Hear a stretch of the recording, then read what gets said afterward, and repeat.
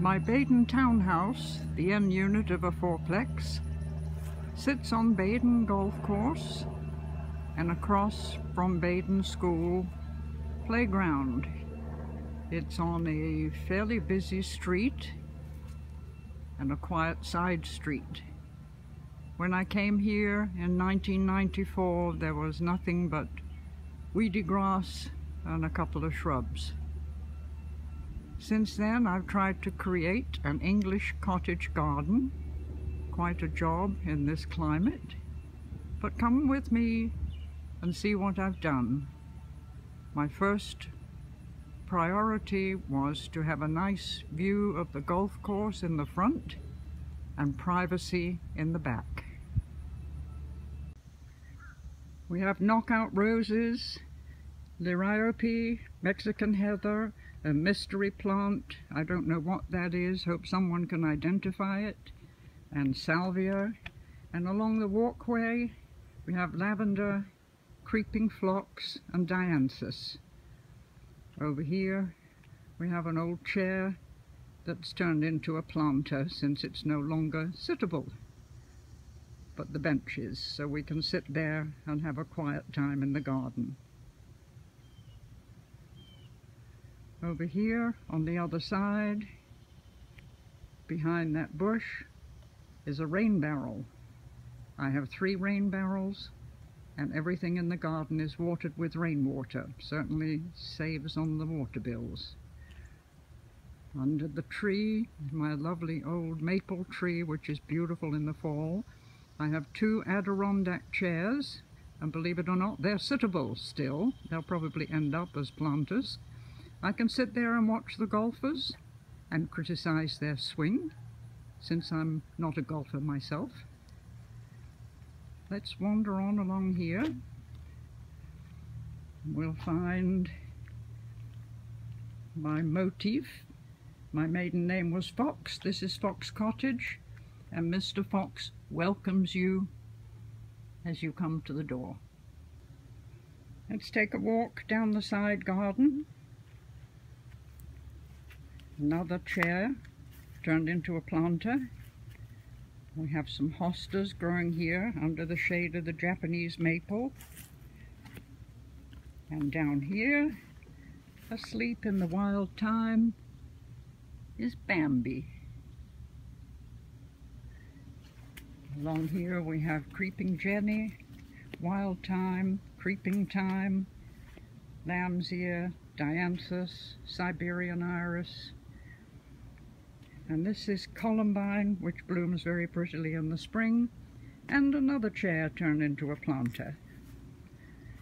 Through the garden gate into the back garden, we have a little side garden here with lamb's ear, ivy, little statuary, ivy climbing up the brick wall, and a shady place under the umbrella where we can sit drank a cup of coffee, made a little bouquet of flowers from my garden and stuck them in a jam jar. And here we have Callie the garden cat, who is at the moment pretending to be sound asleep. We'll leave Callie for her nap. That's about her tenth one today. And wander down the rest of the garden and the back here we have a little patio. And yet another chair with flowers in its lap in the ivy bed. And behind that ivy is another water barrel. It's rather ugly so we covered it up. And over here we have some flowers some mint oregano Nice place to sit and change out of my muddy shoes. This is the potting bench. Germander waiting to be planted in the garden. A little pot of herbs by the back door. Another water barrel. We didn't bother to hide that one. And Callie's scratching post, or what's left of it. Let's go through the trellis archway up a few steps into the back garden which as I said is right on the road so I needed to create privacy. I also got rid of my lawn, gave away the lawnmower and now have flower beds instead. Also now have quite a lot of weeding to do but that's okay. I like the flowers. Let's go explore down the garden path. There is a beautiful Cleome who volunteered and I hadn't got the heart to pull her up. And over here, little patio, bird bath. Lovely place to sit here for a cup of coffee or tea and when the sun is over the yard arm, a glass of wine. Can sit here and admire my rockery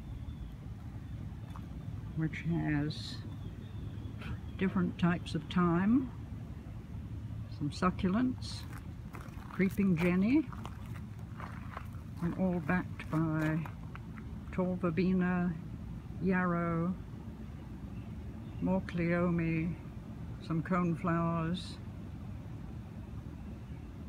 and black-eyed Susans. Let's go walk through the garden path. Some more volunteers.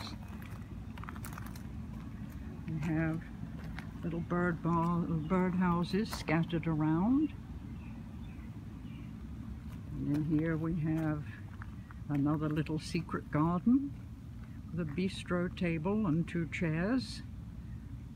The ground cover is dianthus, thyme and creeping phlox and reseeded vinca which comes back every year, blooms happily until frost without any attention from me whatsoever. A wonderful garden plant. I highly recommend it.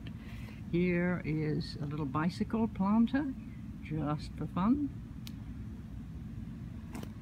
Let's go round the corner. Another look at the flowers. And here on my left we have my beautiful blue cone spruce who never seems to stop growing pyracantha along my neighbor's fence. Let's go down the walkway, see what we can find here. Salvia blooming in a pot. It will be underplanted with small leaf ivy pretty soon. On armillary. here And a rabbit. And there you have my English cottage garden in the colonies.